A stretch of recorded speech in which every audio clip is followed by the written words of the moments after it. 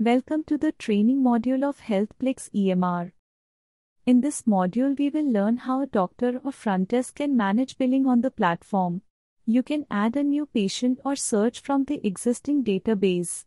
Once done, click on the patient name to proceed. Click on the service name drop-down to select the service type and here we are selecting the service as follow-up visit. The amount for service will be populated automatically based on your preference selected.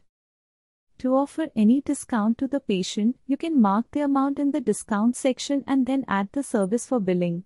You can now choose the date and time of the appointment and then click on continue. You can then add other services if required or click on create bill to proceed.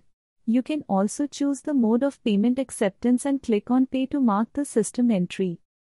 If required, you can share a customer copy by print or email.